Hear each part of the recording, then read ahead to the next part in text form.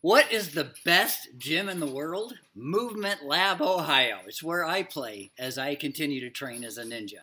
Come join me and have some fun.